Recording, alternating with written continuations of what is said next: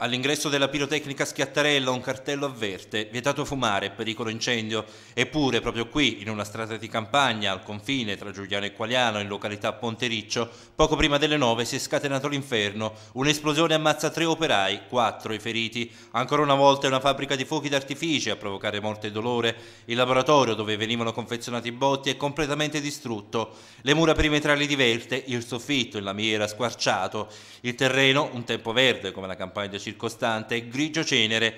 Nell'arco di una ventina di metri solo detriti e macerie. Sul posto gli agenti del commissariato di Giuliano, capitanati da Pasquale Trocino, raccolgono le testimonianze di che vivo per miracolo. I vigili del fuoco per ore lotteranno contro le fiamme. La scientifica seleziona indizi, scatta foto. I familiari delle vittime piangono i caduti della tragedia della Schiattarella. Raffaele Vallefuoco, 65 anni, Luigi Capasso, 45 anni, i nomi dei due operai deceduti in mattinata. Il primo è morto sull'ambulanza, il secondo sul posto, carbonizzato.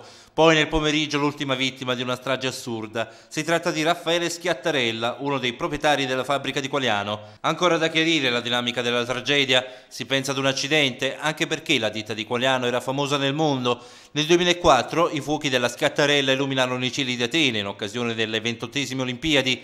L'azienda nasce a Mugnano di Napoli nel lontano 1946, creata dal signor Antonio Schiattarella e dai suoi tre figli.